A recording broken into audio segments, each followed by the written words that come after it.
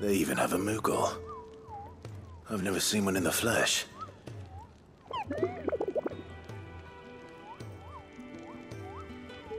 I'm sure it said in my father's bestiary that they live deep in the forest, and that they never reveal themselves to humans.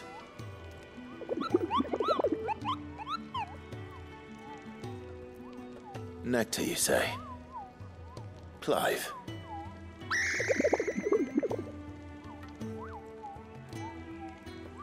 So it would seem.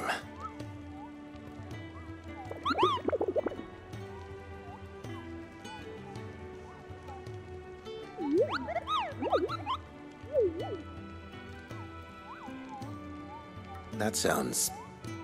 painful.